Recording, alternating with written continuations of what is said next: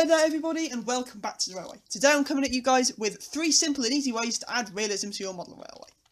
Number one is fencing. I find that adding fencing to my layout has greatly improved realism. I use this, which is the Wills Modern Pack uh, number SSM317 and it is palisade fencing. This is what it looks like, it is on a sprue. It's essential for modern image railway scene and adding this has greatly improved the look and feel of my layout. You can find this on industrial compounds, you find it by the railway line. Yep, really essential, love it.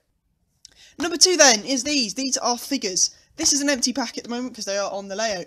But uh, adding figures has absolutely transformed the model railway from an uninhabited town to a town to be proud of. I use Bachmann and Hornby figures as they don't need painting. Uh, I think I'm sure there are a few other brands that don't, but I'd recommend those two brands. Uh, but Model U 3D figures are great as well, but bearing in mind though that they do need painting. Uh, a pack I'd recommend is obviously this, is just 36049, and these are the trackside workers, and they are on the layout. Yep, love those. So the next is weathering. Now, a lot of professional modelers use professional weathering powders, paints and airbrushes and stuff, but that's fine. But if, like me, you can't bring yourself to bring a paintbrush to a £200 plus model, then uh, I have a solution which works great as well, and it is these. Now, it might sound crazy, but I actually use tea to weather my models. Uh, now, the way I get this weathering powder out of tea is by using a food presser, I blend some tea leaves into a fine powder. So these are a bit coarse, but I tend to blend them a bit uh, a bit better than that.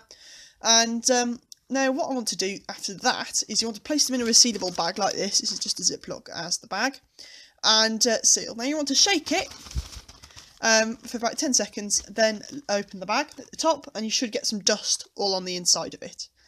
Uh, and now what you want to do is by using a paintbrush, and I haven't got one quite to hand here, uh, what you want to do is just run it around the inside of the top of the bag and then uh, brush it down downward streaks on the model and on the roof.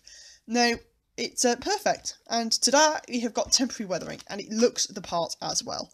Really recommend using this because it saves you time and it saves you money as well because you don't have to sort out all your paintbrushes and stuff. Anyway, I hope you guys have found this useful. Uh, I'll be back with more short videos like this that will uh, absolutely transform your layout if you follow the tips in them. Anyway, thank you guys for watching, and until next time, bye for now. See you again very soon, guys.